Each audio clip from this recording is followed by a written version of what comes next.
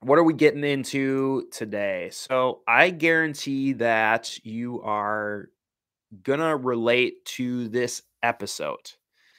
At least I, I am very confident that you're gonna relate to this episode. But maybe you won't. Maybe I'm just maybe I'm just being salty, and maybe it's just because I've I have there's been too much rain in the forecast. I haven't been able to do anything outdoors in a long time. It seems like maybe I'm just salty about it. I'm not sure. But I kind of feel strongly about some of my opinions on uh, some hiking influencers and kind of the way they kind of project their life and how that has consequences for the people that are watching them. Now, let me just start out by saying that there's certain people that are even my friends on online that I just don't like I follow them because I'm their friend, but I'll purposely do things like I'll mute their stories. Which basically means if on Instagram is that you don't you don't see their stories when they post them or I'll mute their posts. And the reason why is because I know that every weekend they're out doing something really cool, which is awesome for them. I love that. But the weekends that I'm not doing something cool and I'm home, like I have been the last month because of the weather here, it's super tough for me to look at those stories. It's super tough for me to see them doing these really fun things and I'm stuck at home or whatever. And it's funny because I never really thought that I had FOMO, fear of missing out. I never I never really have before like I always kind of thought FOMO related to partying, doing things like that, right? And I've never had that really. But I totally have adventure FOMO. So again, when I see other people and even if they're just my friends, it's hard for it actually makes me feel bad about myself if I am not out there crushing it that in that particular weekend. So why is it that we feel like that and how do other outdoor creators and other outdoor influencers kind of contribute to that? Well, first let's take a let's take a look at the definition of a influencer.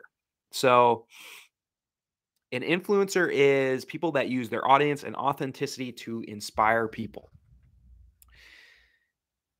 Now, in my opinion, I would say that most, I would say like a good, like eight out of 10 influencers, especially if in the outdoors, they definitely inspire people to go places, but I think that they are far from authentic.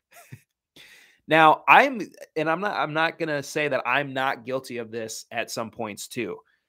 Do I show highlights of things and not the lowlights? Sure, I do. And I have before. But one thing I have seen, especially when I have shared things uh, like my long form YouTube videos on the Colorado Trail, things on the Jane, the John Muir Trail, I've seen a lot like a very big pattern of comments that are like, hey, I can totally relate to this. I love that you're showing not only the good things, but you're also showing like the bad things about through hiking, yada, yada, yada. So I really thought about that for a second. I was like, why? That is interesting that they say that. And it's not like I was strategically trying to do that in any of my stuff. The way that I I view it is that these are like the real life things that are happening to me on the trail and it would be kind of like a lie to not show them happening right? So really kind of interesting things that i've seen yeah just like patterns on my videos and things like that.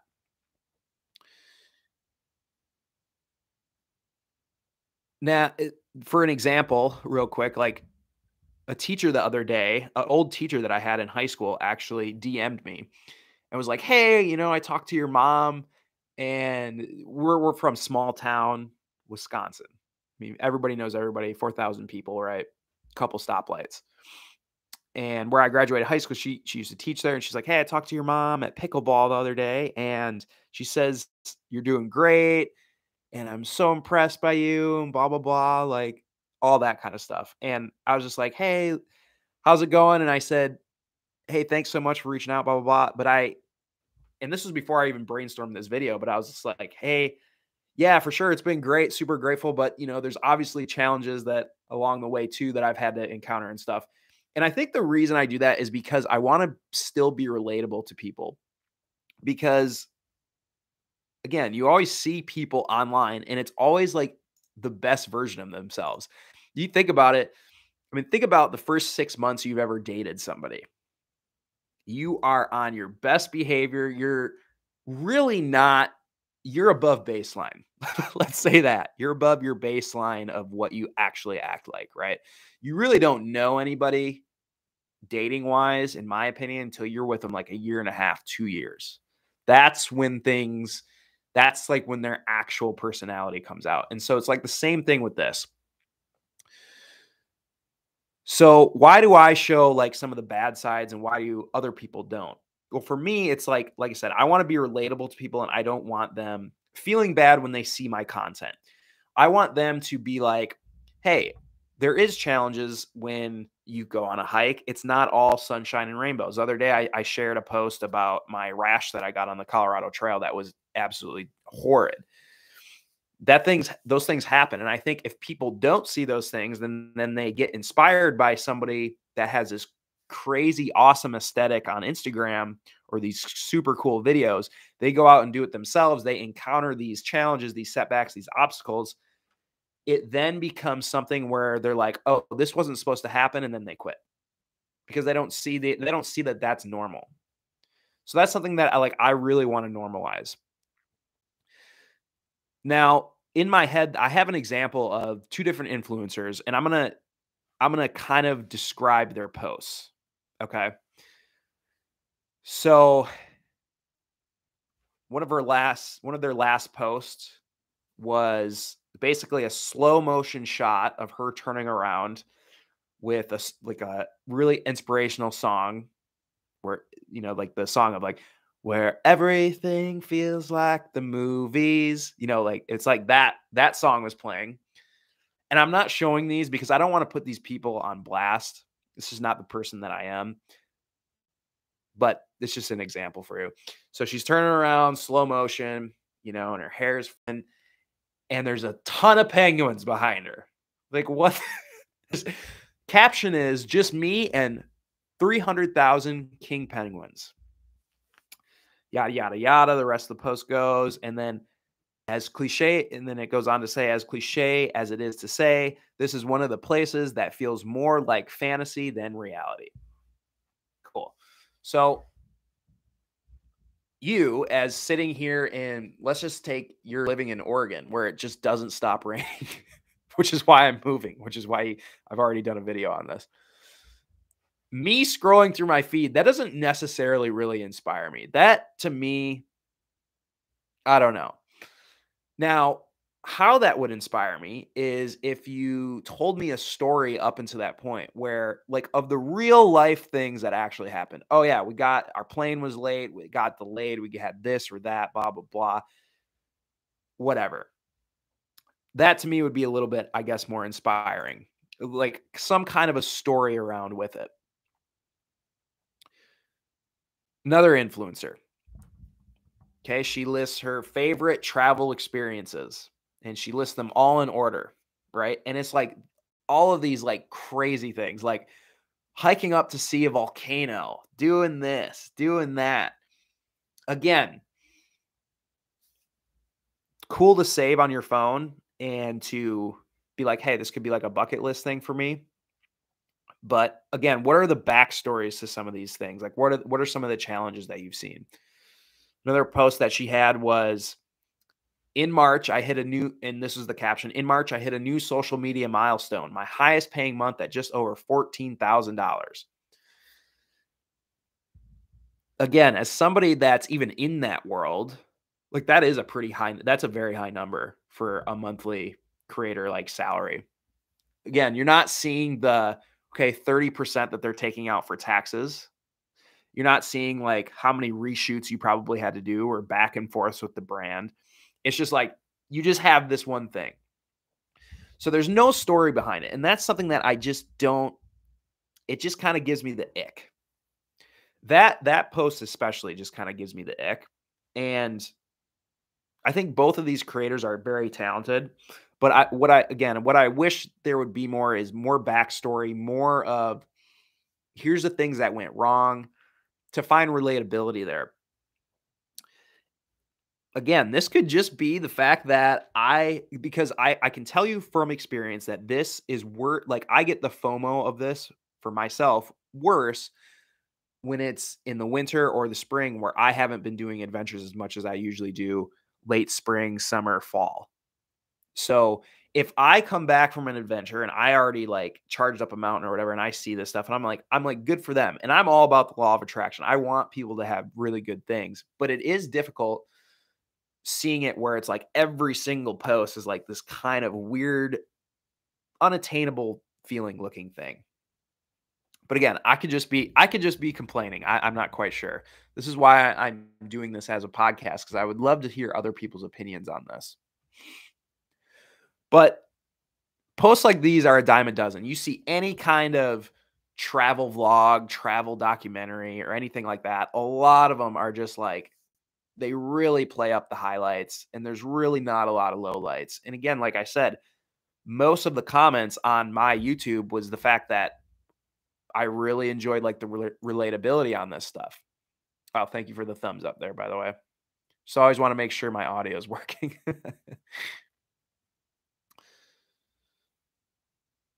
Let me so let me give you another example. So kind of even getting out of like the influencer space.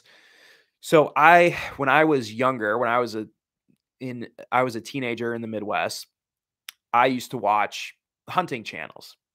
And I don't know what your stance is on hunting, all that type of stuff, but I mean, I was I grew up in the Midwest, Wisconsin. Basically, the first day of deer season was a national holiday.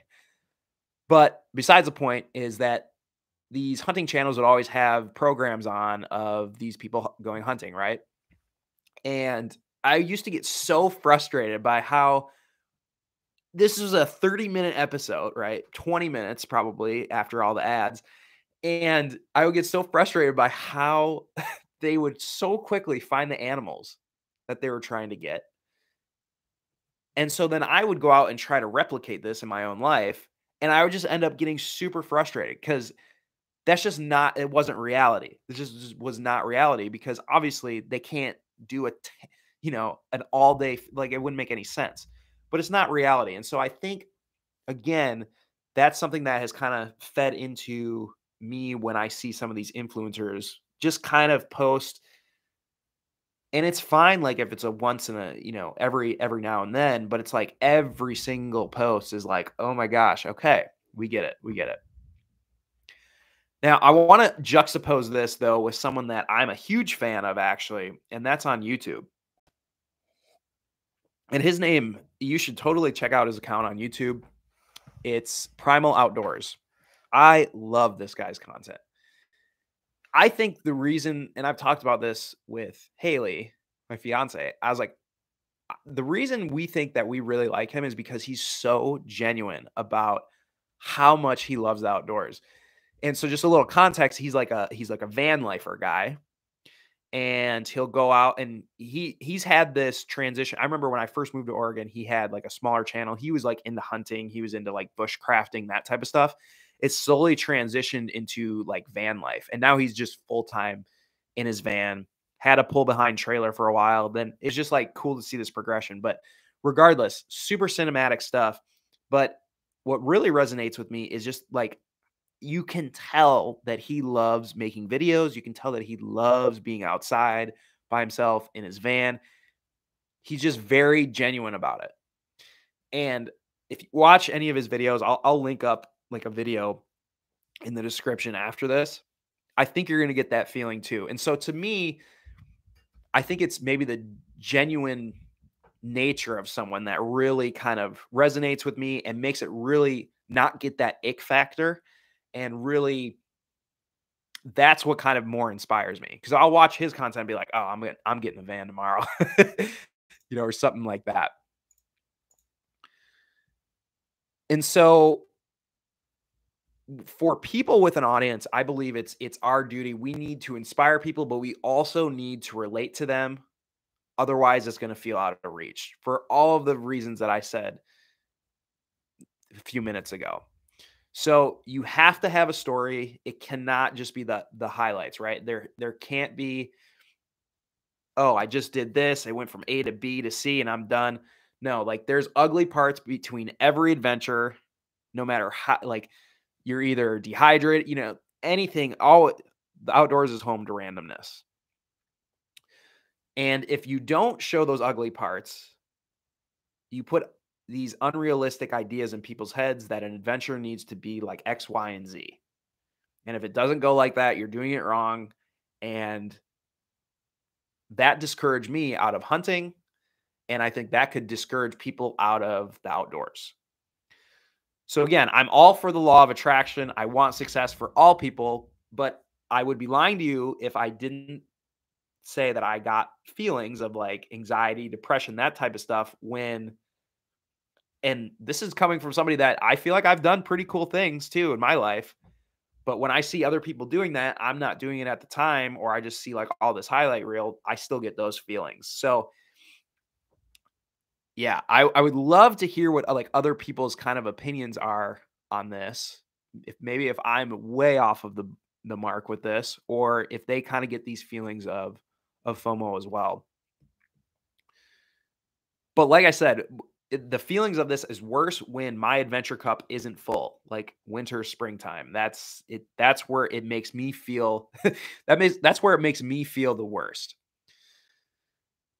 So what is the solution to this? Well, I think I already kind of talked about it, which was show more realistic stuff and make sure people know that it's okay to have challenges on a through hike, on a hike, a regular hike, a day hike, that there's challenges with being a creator, that there's challenges with being an influencer. Like being an influencer is awesome, being a creator is awesome, but there's a lot of times where you're just like, what am I doing? it's a big roller coaster. That's why I've done like the updates on quitting my job, right? So be relatable to people. So that's my opinion on this whole thing. So shorter one today, but before I wrap up, I have a, a comment. This is a good comment. So unedited lens, by the way, thank you for coming on the old chat. Says I bought an Earthroamer Jeep XVJP after watching a similar channel you watch. Best purchase. That's awesome. See, that's what I'm talking about. It's like inspirational stuff like that that you can be you can relate to. And awesome. Thank you. Yeah, so you're definitely relatable. No, I appreciate that. And it's it's funny cuz it's like I never thought of that as something as a connection point maybe really for audiences. Never really thought about that until I started getting all those all those YouTube comments on my through hikes and stuff. They're just like, "Oh my gosh, like you show like the the bad parts of through hiking." One of the one video that's done really well or a couple videos that have is on both the JMT and the CT. What I have done, I'll leave them linked below is I've put I hate the it's a video on I hate the JMT and I hate the Colorado Trail and basically I just went through all my videos and it's like where I'm pretty much complaining or bitching. I spliced it all up and I like overlaid like a funny song to it, like a like a beautiful sunny song to it. And it's pretty funny. And just like the comments are hilarious. They're just like, oh my gosh, like this is exactly how I feel, yada yada yada. And you know, good connection point with the audience. So going forward, I would love to keep sharing more relatable stuff like that and just try to yeah try try to be honest obviously i i have my screw ups as well so and i have in the past and sometimes i still post the highlights right because you still do want to be and i think a lot of people posting highlights and things like they really want to be credible in the audience's eyes a lot of times so if i go and i do the uh, through hike of the pct or something it's like you're I mean, you're obviously you're definitely going to show the finish shot, all that type of stuff, but like you want to be credible in the in your audience's eyes or you want to have that as social proof, which is totally cool. And you totally should. But when it becomes, it's like every single post, these weird unattainable goals, not, I don't want to say unattainable, but just they seem far off for the time or whatever for somebody looking at them.